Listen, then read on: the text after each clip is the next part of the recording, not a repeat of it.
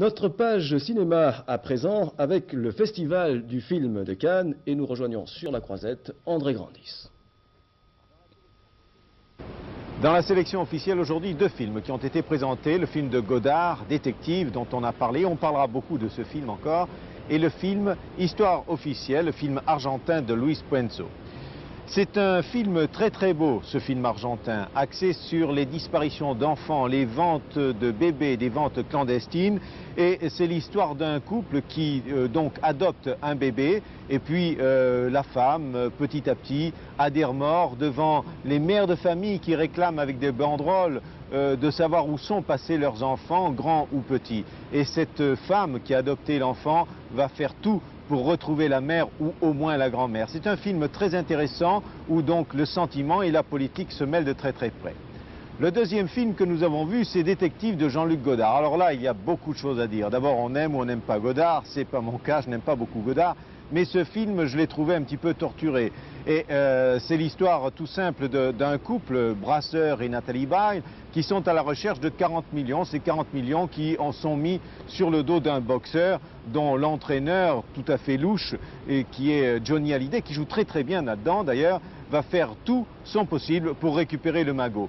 Alors il y a euh, Alain Cuny, qui joue admirablement bien. Il y a de très très bonnes répliques. Johnny Hallyday, je vous l'ai dit, qui est un très bon acteur. Il l'a confirmé. Nathalie Baye, on n'en parle pas. Et Brasseur, bien sûr, qu'on aime. Mais il y a là derrière, il y a Godard. Alors là, il faut avaler Godard. Et ça n'a pas été mon cas aujourd'hui. D'ailleurs, ce n'a pas été le cas non plus de nombreux journalistes qui, à l'issue de la séance ce matin, ont hué ce film. Comment est-ce que la France cherche encore à jouer un rôle principal puisque chaque Français est un personnage secondaire je me demande pas.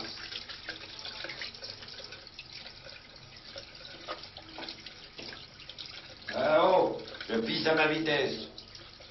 Je vous ai dit que votre offre ne me disait rien. Plus rien. Qu'est-ce que tu vas faire à Madrid? Les Espagnols payent en dollars. Je pense qu'il est de l'intérêt de tout le monde de résumer la situation, monsieur Cheval. Chenal. Chenal, foutez-moi la paix. Si Warner vous donne nos 40 millions, je le tue. Le reste, vos affaires, on lave les mains. Avez-vous remarqué qu'il existe deux sortes d'hommes? Ceux qui ont la queue propre et se lavent les mains avant de pisser. Pour ne pas la salir.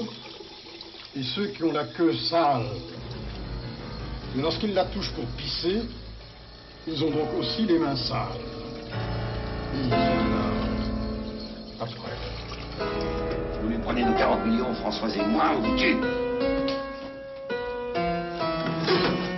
Vous faites une erreur.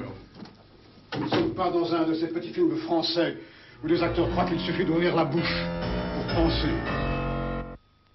Oui, il faut aussi préciser que Jean-Luc Godard a été victime cet après-midi du plus vieux gag du cinéma, si l'on peut dire, celui de la tarte à la crème, alors qu'il gagnait en compagnie de Claude Brasseur la salle de conférence du Palais des Festivals pour parler de son dernier film, dont on a vu quelques extraits, euh, détective. Il a été agressé sous les flashs des photographes par un homme âgé d'une trentaine d'années qui lui a recouvert le visage à l'aide d'une bombe à raser. L'agresseur a été emmené au poste de police. La connerie à un tel niveau, je ne supporte pas a déclaré euh, l'agresseur.